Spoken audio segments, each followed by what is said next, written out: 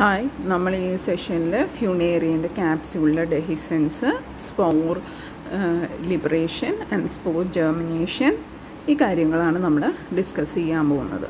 അപ്പോൾ കഴിഞ്ഞ സ്ലൈഡുകളിൽ നമ്മൾ ഡിസ്കസ് ചെയ്തിട്ടുണ്ടായിരുന്നു ഫ്യൂണേറിയന്റെ ക്യാപ്സ്യൂളിന്റെ സ്ട്രക്ചർ എന്താണെന്നൊക്കെ ഉള്ളത് ഡിസ്കസ് ചെയ്തിട്ടുണ്ട്. അപ്പോൾ ഡെഹിസെൻസ് ഓഫ് ക്യാപ്സ്യൂളാണ് നമ്മൾ ആദ്യം നോക്കാൻ പോകുന്നത്. അപ്പോൾ ക്യാപ്സ്യൂൾ മെച്ചുറായി കഴിഞ്ഞു കഴിഞ്ഞാൽ അത് ഡ്രൈ അപ്പ് ചെയ്യും. അതായത് മെച്ചുറേഷൻ ആകുമ്പോഴത്തേക്കും ആ ക്യാപ്സ്യൂളൊന്ന് ഡ്രൈ തുടങ്ങും. ആൻഡ് ആ ക്യാപ്സ്യൂളിലുള്ള കോളുമെല്ലയും outer layers of capsule wall വോൾസും ഇങ്ങനെ ഡ്രൈ അപ്പ് ആകുമ്പോഴത്തേക്കും വെള്ളം ലൂസ് ചെയ്തിട്ട് ഷ്രിങ്ക് ചെയ്യാൻ തുടങ്ങും. ഈ കോളുമെല്ല എന്ന് പറഞ്ഞാൽ ഈ സെൻട്രൽ റീജിയനാണ് ഈ റീജിയനെയാണ് നമ്മൾ കോളുമെല്ല എന്ന് പറയുന്നത്. അപ്പോൾ ക്യാപ്സ്യൂൾ ഡ്രൈ അപ്പ് ആവാൻ തുടങ്ങുമ്പോഴത്തേക്കും ഈ കോളുമെല്ലയും ഔട്ടർ വോൾ ലെയേഴ്സും വാട്ടർ ലൂസ് ചെയ്തിട്ട് ഷ്രിങ്ക് ചെയ്യാൻ തുടങ്ങും. ആൻഡ് ഇങ്ങനെ ഷ്രിങ്കിങ് കാരണം ഈ ക്യാപ്സ്യൂളിന്റെ ആനുലസും സ്പോർ സാക്കും റപ്ചർ ചെയ്യാൻ തുടങ്ങും. ആനുലസ് എന്ന് പറഞ്ഞാൽ എന്താണ്? റിംഗ് ഓഫ് സെൽസ് ഈ തീക്ക റീജിയനെയും ഈ ഒരു അപ്പർ റീജിയനെയും ക്യാപ്സ്യൂളിന്റെ രണ്ട് റീജിയൻസ് ഉണ്ടെന്ന് പറഞ്ഞു. തീക്ക റീജിയനും അപ്പർ റീജിയനും ഈ രണ്ട് റീജിയനിലും ഇടയ്ക്ക് കാണുന്ന തിക് ഗോൾഡ് ആയിട്ടുള്ള റിംഗ് ഓഫ് സെൽസിനെയാണ് ആനുലസ് എന്ന് വിളിക്കുന്നത്. അപ്പോൾ ഇങ്ങനെ സ്പോർട്സ് ക്യാപ്സ്യൂൾ വോളൊക്കെ ഷ്രിങ്ക് ചെയ്യാൻ തുടങ്ങുമ്പോഴത്തേക്കും ഈ ആനുലസും ഇവിടെ കാണുന്ന സ്പോർ സാക്കും റപ്ചർ ചെയ്യും. ആൻഡ് ഈ ഒരു അപ്പർ റീജിയനിൽ തന്നെ പെരിസ്റ്റോം ടീത്ത്സ് പ്രസന്റ് ആണെന്ന് പറഞ്ഞു. ഈ പെരിസ്റ്റോം ടീത്ത്സ് രണ്ട് ലെയർ ആയിട്ടാണ് അറേഞ്ച് ചെയ്തേക്കുന്നത്. സിക്സ്റ്റീൻ സിക്സ്റ്റീൻ ഈച്ച് ആയിട്ട്. ഔട്ടർ റിംഗ് ഓഫ് പെരിസ്റ്റോം ടീത്തും ഇന്നർ റിംഗ് ഓഫ് പെരിസ്റ്റോം ടീത്തും ഉണ്ടെന്ന് പറഞ്ഞു. ആൻഡ് ഈ ഔട്ടർ റിംഗ് ഓഫ് പെരിസ്റ്റോം ടീത്തിന് ഹൈഗ്രോസ്കോപ്പിക് പ്രോപ്പർട്ടി ഉണ്ട്. അതായത് വാട്ടർ അബ്സോർബ് ചെയ്യാനുള്ള കഴിവുണ്ട്. ആൻഡ് ഈ വാട്ടർ അബ്സോർബ് ചെയ്ത് സ്വെല്ല് ചെയ്യാനുള്ള കഴിവ് കാരണം ഈ ഒരു outer ring of peristome teeths move ചെയ്യും.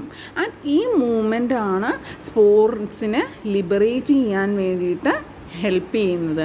ആൻഡ് ഈ ഒരു ഔട്ടർ റിമ്മിലുള്ള പെരിസ്റ്റോം ടീത്തിന്റെ മൂവ്മെന്റ് കാരണം ഈ ക്യാപ്സ്യൂളിന്റെ ലിഡായിട്ടുള്ള ഓപ്പർക്കുലം സെപ്പറേറ്റ് ചെയ്തു പോകും. അപ്പോൾ ഏറ്റവും അപ്പർ റീജിയനിൽ ഓപ്പർ കുലുമുണ്ട് പെരിസ്റ്റോമും ഉണ്ട് ഈ പെരിസ്റ്റോം ടീത്സിന്റെ മൂവ്മെന്റ് കാരണം ഈ ഓപ്പർ കുലം സെപ്പറേറ്റ് ചെയ്ത് പോവും. ആൻഡ് ഈ ഹൈഗ്രോസ്കോപ്പിക് മൂവ്മെന്റ് ഓപ്പർക്കുലം സെപ്പറേഷന് മാത്രമല്ല ഈ ഒരു സ്പോർട്സിനെ ഗ്രാജുവലി ലിബറേറ്റ് ചെയ്യാനും ഹെൽപ്പ് ചെയ്യും. അപ്പോൾ ഇത്രയുമാണ് സ്പോർ ഡെഹിസൻസ് ഓഫ് ക്യാപ്സ്യൂളിനെ കുറിച്ചിട്ടുള്ള ജനറൽ കാര്യങ്ങൾ അപ്പം മെച്യൂർ ആകുമ്പോഴത്തേക്കും ക്യാപ്സ്യൂൾ ഡ്രൈ അപ്പ് ചെയ്യാൻ തുടങ്ങും. അങ്ങനെ ഡ്രൈ അപ്പ് ചെയ്യുന്ന സമയത്ത് കോളുമില്ലയും ഔട്ടർ വോളും ഒക്കെ വെള്ളം ലൂസ് ചെയ്ത് ഷ്രിങ്ക് ചെയ്യാൻ തുടങ്ങും. ആസ് എ റിസൾട്ട് ആനുലസും സ്പോസാക്കും റപ്ചർ ചെയ്യും. പിന്നെ എന്താണ്? ഔട്ടർ റിംഗ് ഓഫ് പെരിസ്റ്റോൺ ടീത്സിന്റെ ഹൈഗ്രോസ്കോപ്പിക് മൂവ്മെന്റ് കാരണം ഈ ഓപ്പർക്കുലം അല്ലെങ്കിൽ ലിഡ് റിമൂവ് ചെയ്യപ്പെടും. ആൻഡ് ഓൾസോ സ്പോർട്സിന്റെ ഡിസ്പേഴ്സലിനെ ഈ ഒരു പെരിസ്റ്റോം ടീത്തിന്റെ ഹൈഗ്രോസ്കോപ്പിക് മൂവ്മെന്റ് ഹെൽപ്പ് ചെയ്യും. And inner rim of ring of peristome ടീത്തിന് hygroscopic movement present അല്ല. അപ്പോൾ ഈ ഔട്ടർ റിംഗ് ഓഫ് പെരിസ്റ്റോം ടീത്തിന്റെ ഹൈഗ്രോസ്കോപ്പിക് മൂവ്മെന്റും ഉണ്ട് എങ്ങനെയാണ് സ്പോർ റിബറേറ്റ് ചെയ്യപ്പെടുന്നതെന്നാണ് അടുത്ത സെഷനിൽ നമ്മൾ നോക്കാൻ പോകുന്നത്. അപ്പോൾ ഹ്യൂമിഡിറ്റി കൂടുതലുള്ള സമയത്ത് ഹ്യൂമിഡിറ്റി കൂടുതലുള്ള സമയത്ത് ഈ പെരിസ്റ്റോൺ ടീത്ത് വാട്ടർ അബ്സോർബ് ചെയ്യും. ആൻഡ് ഇങ്ങനെ വാട്ടർ അബ്സോർബ് ചെയ്യുമ്പോഴത്തേക്കും ഇവർ ലെങ്ത് ഇൻക്രീസ് ചെയ്യും. ആൻഡ് അവരകത്തോട്ട് കേവ് ചെയ്യാൻ തുടങ്ങും. ആൻഡ് ഇങ്ങനെ അകത്തോട്ട് കേവ് ചെയ്യുമ്പോഴത്തേക്കും ആ ക്യാപ്സ്യൂളിന്റെ ഓപ്പണിങ്ങിനെ അവർ ക്ലോസ് ചെയ്യും. അപ്പോൾ ഹ്യൂമിഡിറ്റി കൂടുതലുള്ള ടൈമിൽ outer peristome teeth water absorb ചെയ്തിട്ട് ലെങ്ത് ഇൻക്രീസ് ചെയ്ത് ടുവേർഡ്സ് ദ ഇൻസൈഡ് കേർവ് ചെയ്യാൻ തുടങ്ങും. അങ്ങനെ ഇൻസൈഡിലോട്ട് കേർവ് ചെയ്യാൻ തുടങ്ങുമ്പോഴത്തേക്കും എന്ത് പറ്റും? ആ ഒരു ഓപ്പണിങ് ക്ലോസ്ഡ് ആയി പോകും. കഴിഞ്ഞ സ്ലൈഡിൽ നമ്മൾ ഡിസ്കസ് ചെയ്തായിരുന്നു ആ പെരിസ്റ്റോം ടീത്ത്സ് ഒക്കെ ദ സെന്റർ വന്ന് മീറ്റ് ചെയ്യും എന്നുള്ള കാര്യം. അപ്പോൾ ഇങ്ങനെ വാട്ടർ അബ്സോർബ് ചെയ്തിട്ട് ഇവർ ലെങ്ത് ഇൻക്രീസ് ചെയ്ത് ടുവേർഡ്സ് ദ ഇൻസൈഡ് കേർവ് ചെയ്ത് എല്ലാം കൂടി ആ ഒരു ഓപ്പണിങ്ങിന്റെ അവിടെ ഈ പതിനാറ് പെരിസ്റ്റോൺ ടീത്തും towards the inside curve ചെയ്യുമ്പോഴത്തേക്കും ആ ഓപ്പണിംഗ് അവിടെ ക്ലോസ് ചെയ്ത് പോവും. ആൻഡ് വീണ്ടും ഡ്രൈ ആയിട്ടുള്ള കണ്ടീഷൻ വരുമ്പോൾ എന്ത് പറ്റും? ഈ പെരിസ്റ്റോം ടീത്ത് വാട്ടർ അതിൽ നിന്ന് നഷ്ടപ്പെട്ടു പോകും ആൻഡ് അങ്ങനെ നഷ്ടപ്പെട്ടു പോകുമ്പോഴത്തേക്കും അവർ ഔട്ട്വേർഡ് മൂവ് ചെയ്യാൻ തുടങ്ങും വിത്ത് ജേക്ക് ഇങ്ങനെ ഔട്ട്വേർഡ് മൂവ് ചെയ്യാൻ തുടങ്ങുമ്പോഴത്തേക്കും ആ ക്യാപ്സ്യൂളിന്റെ ഓപ്പണിംഗ് തുറന്നു വരും. ആൻഡ് അതുവഴി സ്പോർട്സിനെ ലിബറേറ്റ് ചെയ്യാൻ ഹെൽപ്പ് ചെയ്യും. അപ്പോൾ ഡ്രൈ കണ്ടീഷനിൽ വാട്ടർ ലൂസ് ചെയ്യും ഈ ഔട്ടർ പെരിസ്റ്റോം ടീത്ത് അങ്ങനെ ലൂസ് ചെയ്യുമ്പോഴത്തേക്കും അവർ ടുവേർഡ്സ് ദ ഔട്ട്സൈഡ് മൂവ് ചെയ്യും. അങ്ങനെ മൂവ് ചെയ്യുമ്പോഴത്തേക്കും ചെറിയ ചെറിയ സ്ലിറ്റ്സ് ഉണ്ടാവും ആ ടീത്സിന്റെ ഇടയ്ക്ക്. ആൻഡ് ഈ സ്ലിറ്റ്സിന്റെ ഇടയ്ക്ക് കൂടി സ്പോർട്സ് ലിബറേറ്റ് ചെയ്യപ്പെടും. ആൻഡ് ഇങ്ങനെയുള്ള വാട്ടർ അബ്സോർബ് ചെയ്യുമ്പോഴത്തേക്കും ടുവേർഡ്സ് ദ ഇൻസൈഡ് മൂവ്മെന്റും വാട്ടർ ഡ്രൈ ആകുമ്പോഴത്തേക്കും പെരിസ്റ്റോം ടീത്ത് ഔട്ട്സൈഡ് മൂവ് ചെയ്യും. ഇങ്ങനെയുള്ള മൂവ്മെന്റ്സ് കാരണം ഈ സ്പോർട്സ് പല പല ഇൻസ്റ്റാൾമെന്റ്സ് ആയിട്ടാണ് ക്യാപ്സ്യൂളിൽ നിന്ന് ലിബറേറ്റ് ചെയ്യപ്പെടുന്നത്. എല്ലാം ഒറ്റയടിക്കല്ല ലിബറേറ്റ് ചെയ്യുന്നത്. പല പല സെറ്റ്സ് ആയിട്ടാണ് അല്ലെങ്കിൽ ഇൻസ്റ്റാൾമെന്റ്സ് ആയിട്ടാണ് സ്പോർട്സ് ക്യാപ്സ്യൂളിൽ നിന്ന് ലിബറേറ്റ് ചെയ്യപ്പെടുന്നത്. ഇത് കൂടാണ്ട് നമുക്കറിയാം സ്പോറോഫൈറ്റിന് മൂന്ന് റീജിയൻസാണ് ഉള്ളത് foot seta and capsule and സീറ്റയ്ക്കും hygroscopic property ഉണ്ട്.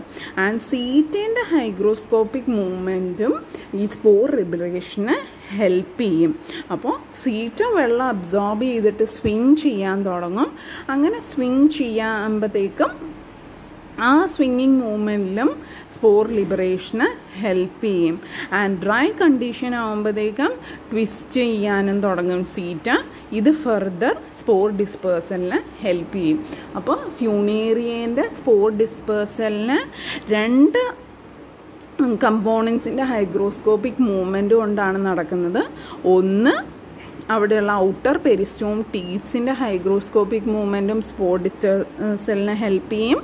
സെക്കൻഡ് വൺ സീറ്റേന്റെ ഹൈഗ്രോസ്കോപ്പിക് മൂവ്മെന്റും സ്പോട്ട് ഡിസ്പേഴ്സലിന് ഹെൽപ്പ് ചെയ്യും. So hygroscopic movement of peristome and seta help in dispersal of spores. And ഇങ്ങനെ ഡിസ്പേഴ്സ് ചെയ്യപ്പെടുന്ന സ്പോർട്സ് വിൻഡ് വഴിയാണ് പല ഏരിയയിലോട്ടും ട്രാൻസ്ഫർ ചെയ്യപ്പെടുന്നത് അപ്പോൾ ഇത്രയുമാണ് ക്യാപ്സ്യൂളിന്റെ ഡിസ്പേഴ്സലിനെ കുറിച്ചുള്ളത്. അപ്പോൾ ഡ്രൈ കണ്ടീഷനിൽ ഷ്രിങ്ക് ചെയ്യും. അങ്ങനെ ഷ്രിങ്ക് ചെയ്യുമ്പോഴത്തേക്കും സ്പോർട്സ് ആക്കും ആനുലസും ഒക്കെ റപ്ചർ ചെയ്യും. ആൻഡ് ഈ ഷ്രിങ്കിങ് കാരണം തന്നെ ഓപ്പർക്കുലം ത്രോ ഔട്ട് ചെയ്യപ്പെടും. പെരിസ്റ്റോൺ ടീത്തിന്റെ സ്ട്രിങ്കിങ് ഓപ്പർക്കുലം ത്രൂ ഔട്ട് ചെയ്യപ്പെടും. അത് കൂടാണ്ട് ഇവരുടെ മൂവ്മെന്റ്സ് നടക്കും. ഡ്രൈ ഡ്രൈ ആകുമ്പോഴത്തേക്കും പെരിസ്റ്റോൺ ടീത്ത് പുറത്തോട്ട് മൂവ് ചെയ്യുമ്പോഴത്തേക്കും ഒരു ഓപ്പണിംഗ് വരും. ആൻഡ് ആ ഓപ്പണിങ്ങിൽ കൂടിയാണ് സ്പോറ് ലിബറേറ്റ് ചെയ്യുന്നത്. നമുക്ക് നെക്സ്റ്റ് നോക്കാം. ഈ ലിബറേറ്റ് ചെയ്യപ്പെടുന്ന സ്പോറിന് എന്താണ് സംഭവിക്കുന്നതെന്നുള്ളത്. അതിനു മുമ്പേ ന്യൂട്രീഷൻ ഓഫ് സ്പോറോഫൈറ്റ് നോക്കാം. അപ്പോൾ നമ്മൾ ഫ്യൂണേറിയന്റെ സ്പോറോഫൈറ്റിലോട്ട് വരികയാണെങ്കിൽ അത് മെജോറിറ്റി ഓഫ് അതിന് വേണ്ട അതായിട്ടുള്ള ഓർഗാനിക് കമ്പോണൻസ് അത് സ്വയമാണ് ഉണ്ടാക്കിയെടുക്കുന്നത്. അപ്പോൾ മെച്ചുവർ സ്പോറോഫൈറ്റ് ഓഫ് ഫ്യൂണേറിയ നമ്മൾ എടുക്കുകയാണെങ്കിൽ അത് majority major part of its organic nutrients അത് സ്വയം ഉണ്ടാക്കിയെടുക്കുകയാണ്. വളരെ കുറച്ച് ന്യൂട്രിയൻസിന് വേണ്ടിയിട്ട് അവർ ഗ്യാമറ്റോഫൈറ്റിന് ഡിപ്പെൻഡ് ചെയ്യുന്നുള്ളൂ. അപ്പോൾ സ്പോറോഫൈറ്റിന്റെ ഓർഗാനിക് ന്യൂട്രിയൻസ് നമ്മൾ എടുക്കുവാണെങ്കിൽ മെജോറിറ്റി ഈ സ്പോറോഫൈറ്റ് തനിയെ ഉണ്ടാക്കി എടുക്കുന്നുണ്ട്. അല്ലെങ്കിൽ സ്പോറോഫൈറ്റ് ഓട്ടോണോമസ് ആണെന്ന് പറയാം. ഈ ഒരു ഓർഗാനിക് ന്യൂട്രീഷന്റെ കാര്യം നമ്മൾ എടുക്കുമ്പോൾ വളരെ കുറച്ച് മാത്രമേ അത് ഗ്യാമറ്റോഫൈറ്റിനെ ഡിപ്പെൻഡ് ചെയ്യുന്നുള്ളൂ. നെക്സ്റ്റ് നമ്മൾ ഇനോർഗാനിക് ന്യൂട്രിയൻസും വാട്ടറും ഒക്കെ എടുക്കുവാണെങ്കിൽ ഈ സ്പോറോഫൈറ്റിന് വേണ്ട inorganic nutrients and water completely supply ചെയ്യുന്നത് ഗ്യാമറ്റോഫൈറ്റ് ആണ് എന്താണെന്ന് വെച്ചാൽ സ്പോറോഫൈറ്റിന് ആസ് സച്ച് സോയിലുമായിട്ട് കണക്ഷൻ ഒന്നുമില്ല ഗ്യാമറ്റോഫൈറ്റ് ആണ് സോയിലുമായിട്ട് കണക്ട് ചെയ്തേക്കുന്നത്.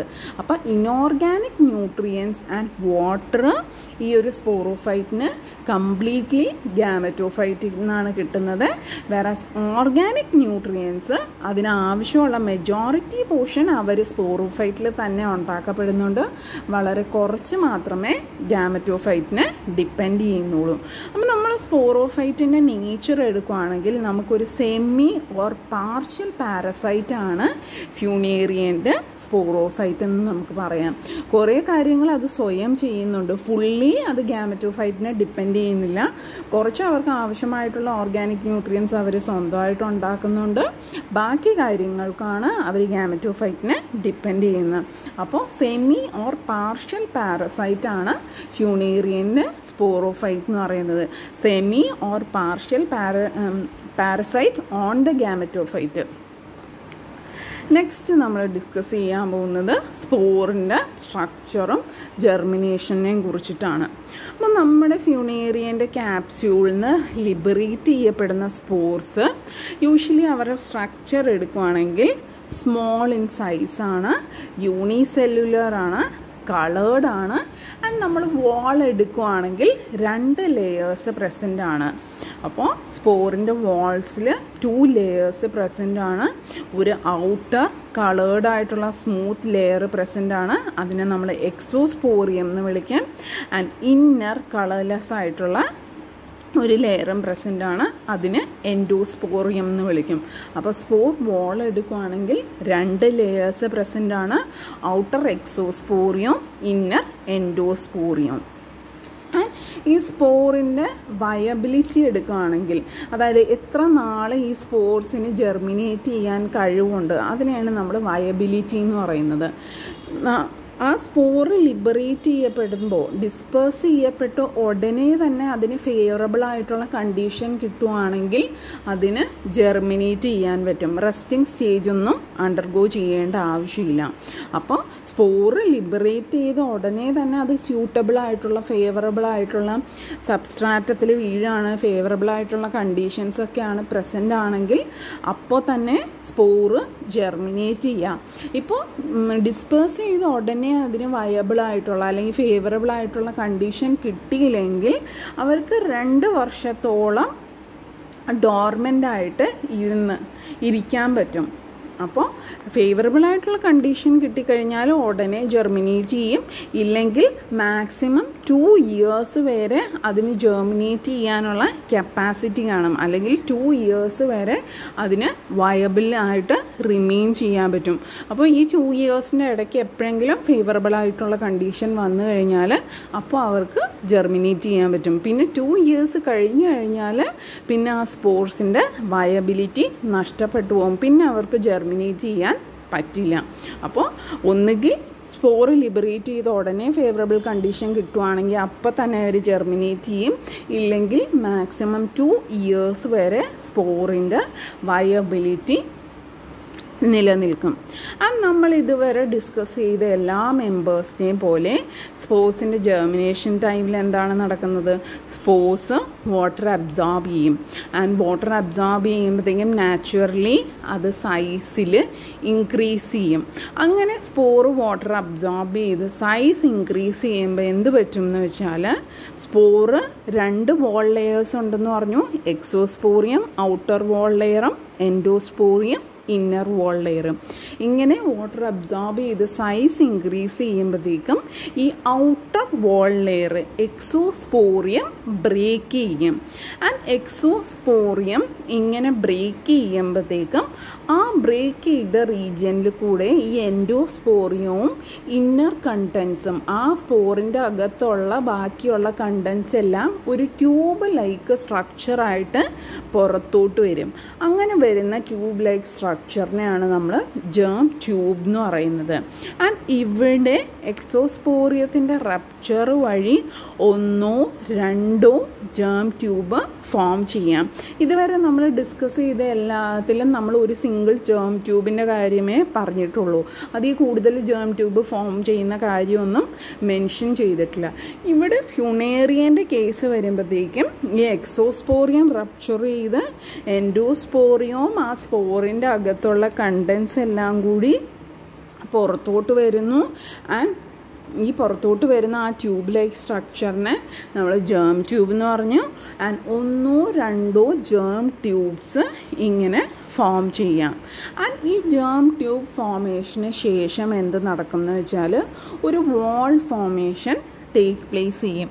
ഈ ജേം ട്യൂബിനകത്ത് ഒരു ട്രാൻസ്പോസ് വാൾ ഡെവലപ്പ് ചെയ്യാൻ തുടങ്ങും. ആൻഡ് ഈ ട്രാൻസ്പോസ് വാൾ ഡെവലപ്പ് ചെയ്യുന്ന പോയിന്റ് എന്ന് പറഞ്ഞാൽ ജേം ട്യൂബ് ആ എക്സോസ്പോറിയത്തിൽ നിന്ന് പുറത്തോട്ട് വരുന്ന ആ പോയിന്റിന്റെ അവിടെയാണ് ഈ ട്രാൻസ്വേഴ്സ് വാൾ ഡെവലപ്പ് ചെയ്യുന്നത്. അപ്പോൾ ഒരു ട്രാൻസ്വേഴ്സ് മോൾ ഡെവലപ്പ് ചെയ്യും. ഈ ജാം ട്യൂബ് ഈ എക്സോസ്പോറിയത്തിന്റെ അവിടെ നിന്ന് പുറത്തോട്ട് വരുന്ന ആ പോയിന്റിൽ വെച്ചിട്ടാണ് ട്രാൻസ്വേഴ്സ് വാൾ ഡെവലപ്പ് ചെയ്യുന്നത്. ആൻഡ് ഇങ്ങനെ ഉള്ള ജേം ട്യൂബിൽ നിന്ന് പിന്നെ ആ സെൽസ് എല്ലാം കൂടെ ഡിവൈഡ് ചെയ്തിട്ട് ഒരു മൾട്ടി സെല്ലുലർ ഫിലമെന്റ് ഫോം ചെയ്യും. ആൻഡ് ഇങ്ങനെ ഫോം ചെയ്യുന്ന ഫിലമെന്റിനെയാണ് നമ്മൾ പ്രൈമറി പ്രോട്ടോനീമ എന്ന് പറയുന്നത്. അപ്പോൾ ഗ്യാമറ്റോഫൈറ്റിക് സ്റ്റേജ് നമ്മൾ ഡിസ്കസ് ചെയ്തപ്പോൾ ആദ്യം പറഞ്ഞിട്ടുണ്ടായിരുന്നു ഒരു പ്രൈമറി പ്രോട്ടോനീമ സ്റ്റേജ് ഉണ്ട്. പിന്നീടാണ് ലീഫി ഗ്യാമറ്റോഫൈറ്റ് ഫോം ചെയ്യുന്നതെന്ന് പറഞ്ഞു. ഫ്യൂണേറിയയിൽ അപ്പോൾ ആദ്യം ഈ ഒരു ജേം ട്യൂബിൽ നിന്ന് സിംഗിൾ സെല്ല് ഡിവൈഡ് ചെയ്ത് മൾട്ടി സെല്ലുലർ ആയിട്ടുള്ള ഫിലമെന്റസ് ആയിട്ടുള്ള സ്ട്രക്ചർ ഫോം ചെയ്യും. ആൻഡ് ആ ഫിലമെന്റ് സ്ട്രക്ചറിനെ നമ്മൾ പ്രൈമറി പ്രോട്ടോനീമ എന്നാണ് വിളിക്കുന്നത്. ആൻഡ് ഇനി പ്രൈമറി പ്രോട്ടോനീമയിൽ രണ്ട് തരം ഫിലമെൻസ് ഉണ്ട്. ഒന്ന് സർഫസിൽ കൂടി ഗ്രോ ചെയ്യുന്ന ടൈപ്പ് ഫിലമെന്റ്സ് അവർ ഗ്രീൻ ഇൻ കളറായിരിക്കും അവരെ നമ്മൾ ക്ലോറോനീമൽ ബ്രാഞ്ചസ് എന്ന് വിളിക്കും. And second type of filaments എന്ന് പറഞ്ഞാൽ സബ്സ്ട്രാറ്റത്തിന്റെ അകത്തോട് അല്ലെങ്കിൽ സോയിലിന്റെ അകത്തോട്ട് പെനിട്രേറ്റ് ചെയ്യുന്ന കളർലെസ് ആയിട്ടുള്ള ഫിലമെൻസ് ആണ്. ഇവരെ നമ്മൾ റൈസോയിഡൽ ബ്രാഞ്ചസ് എന്ന് വിളിക്കും. അപ്പോൾ ഇനീഷ്യൽ ഗാമറ്റോഫൈറ്റ് പാർട്ട് പറഞ്ഞപ്പോഴത്തേക്കും ഇത് ഡിസ്കസ് ചെയ്തിട്ടുണ്ടായിരുന്നു. അപ്പോൾ പ്രൈമറി ഫിലമെന്റിൽ പ്രോട്ടോനീമയിൽ രണ്ട് ടൈപ്പ് ബ്രാഞ്ചസ് കാണും. ക്ലോറോനീമൽ ബ്രാഞ്ചസ് അതായത് സർഫസിൽ കൂടെ സ്പ്രെഡ് ചെയ്ത് ഗ്രീനിഷിൻ കളറായിട്ടുള്ള ബ്രാഞ്ചസിനെയാണ് ക്ലോറോനീമൽ ബ്രാഞ്ചസ് എന്ന് വിളിക്കുന്നത്. ആൻഡ് ചില ഫിലമെന്റ്സ് ഇൻസൈഡ് ദ സബ്സ്ട്രേറ്റം സബ്സ്ട്രേറ്റത്തിന്റെ അകത്തോട്ട് പെനിട്രേറ്റ് ചെയ്തു പോകും. സബ്സ്ട്രേറ്റം എന്ന് പറഞ്ഞാൽ സോയിൽ അതിന്റെ അകത്തോട്ട് പെനിട്രേറ്റ് ചെയ്തു അവരെ നമ്മൾ റൈസോയിഡൽ ബ്രാഞ്ചസ് എന്ന് വിളിക്കും. ആൻഡ് ഇനീഷ്യലി റൈസോയിഡൽ ബ്രാഞ്ചസ് അറ്റാച്ച്മെന്റിന് ഹെൽപ്പ് ചെയ്യും. പിന്നെ അബ്സോപ്ഷനും ഈ റൈസോയിഡൽ ബ്രാഞ്ചസ് ഹെൽപ്പ് ചെയ്യും. പിന്നീട് ഈ ക്ലോറോനീമൽ ബ്രാഞ്ചസിന് ചില ബഡ്സ് ലാറ്ററൽ ബഡ്സ് ഡെവലപ്പ് ചെയ്യും. ഈ പ്രൈമറി പ്രോട്ടോനീമയെന്ന് ഈ ബഡ്സിൽ നിന്നാണ് മെച്വർ ആയിട്ടുള്ള ഗാമറ്റോഫോർ അല്ലെങ്കിൽ മെച്വർ പ്ലാന്റ് ഡെവലപ്പ് ചെയ്ത് വരുന്നത്. ഈ ബഡ്സ് ഡെവലപ്പ് ചെയ്തിട്ടാണ് മെച്വർ ആയിട്ടുള്ള പ്ലാന്റ് അല്ലെങ്കിൽ ഗാമറ്റോഫോർ ഡെവലപ്പ് ചെയ്യുന്നത്. ആൻഡ് ഇങ്ങനെ ബഡ്ഡിന്ന് മെച്വർ ഗാമറ്റോഫോർ ഡെവലപ്പ് ചെയ്ത് കഴിയുമ്പോഴത്തേക്കും ആ പ്രൈമറി പ്രോട്ടോനിയമെ എല്ലാം ഡിസിന്റഗ്രേറ്റ് ചെയ്ത് ഡീജനറേറ്റ് ചെയ്ത് പോവും. ആൻഡ് ഓരോ ഗാമറ്റോഫോറും ഒരു പ്രൈമറി പ്രോട്ടോനീമയിൽ നിന്ന് ഫോം ചെയ്ത ഓരോ ഗാമറ്റോഫോറും സെപ്പറേറ്റ് ചെയ്ത് സെപ്പറേറ്റ് പ്ലാന്റ്സ് ആയിട്ട് വളരാൻ തുടങ്ങും. ഇത്രയാണ് സ്പോർ ജെർമിനേഷനിൽ ഉള്ളത്. നെക്സ്റ്റ് നമ്മൾ ഡിസ്കസ് ചെയ്യാൻ പോകുന്നത് ഓൾട്ടർനേഷൻ ഓഫ് ജനറേഷനാണ് അപ്പോൾ ബ്രയോഫൈറ്റ്സിൽ നമുക്കറിയാം ക്ലിയർ കട്ടായിട്ടുള്ള ഓൾട്ടർനേഷൻ ഓഫ് ജനറേഷൻ പ്രസന്റ് ആണ്. ഒരു ഗ്യാമറ്റോഫൈറ്റിക് ഫേസും ഉണ്ട്. സ്പോറോഫൈറ്റിക് ഫേസും ഉണ്ട്. നമുക്ക് എടുക്കുമ്പോൾ ഗാമറ്റോഫൈറ്റിക് ഫേസിന്റെ പ്ലോയിഡി എന്ന് പറഞ്ഞാൽ ഹാപ്ലോയിഡ് ആയിരിക്കും. ആൻഡ് സ്പോറോഫൈറ്റിക് ഫേസിന്റെ ഇത് പ്ലോയിഡി എന്ന് പറഞ്ഞാൽ ഡിപ്ലോയിഡ് ആയിരിക്കും. ആൻഡ് ഗാമറ്റോഫൈറ്റിക് ജനറേഷനിലാണ് ഗമേറ്റ് ഫോമേഷൻസ് ഉണ്ടാകുന്നത് ആൻഡ് സ്പോറോഫൈറ്റിക് ജനറേഷനാണ് മിയോസ്പോർസ് പ്രൊഡ്യൂസ് ചെയ്യുന്നത്. ആൻഡ് ഈ മിയോസ്പോർ ജെർമിനേറ്റ് ചെയ്ത് വീണ്ടും ഗാമറ്റോഫൈറ്റിക് ജനറേഷൻ ഫോം ചെയ്യും. ആൻഡ് ഇവിടെ എടുക്കുവാണെങ്കിൽ നമ്മുടെ ഗ്യാമറ്റോഫൈറ്റിക് ജനറേഷനും സ്പോറോഫൈറ്റിക് ജനറേഷനും മോർഫോളജിക്കലി ഡിഫറെന്റ് ആണ്. സൈറ്റോളജിക്കലിയും ഡിഫറെന്റ് ആണ്. അപ്പോൾ രണ്ടും മോർഫോളജിക്കലിയും സൈറ്റോളജിക്കലിയും ഡിഫറെന്റ് ആണ്. അപ്പോൾ ഇങ്ങനെയുള്ള ഓൾട്ടർനേഷൻ ഓഫ് ജനറേഷനെയാണ് നമ്മൾ ഹെട്രോമോർഫിക് ഓൾട്ടർനേഷൻ ഓഫ് ജനറേഷൻ അല്ലെങ്കിൽ ഹെട്രോലോഗസ് ഓൾട്ടർനേഷൻ ഓഫ് ജനറേഷൻ എന്ന് പറയുന്നത്. അപ്പോൾ രണ്ട് ഡിഫറെന്റ് ഫേസസും മോർഫോളജിക്കലിയും സൈറ്റോളജിക്കലിയും ഒക്കെ ഡിഫറെന്റ് ആണ്. അങ്ങനെയുള്ള ഓൾട്ടർനേഷൻ ഓഫ് ജനറേഷനെയാണ് നമ്മൾ heteromorphic or heterologous alternation of generation എന്ന് പറയുന്നത്. Thank you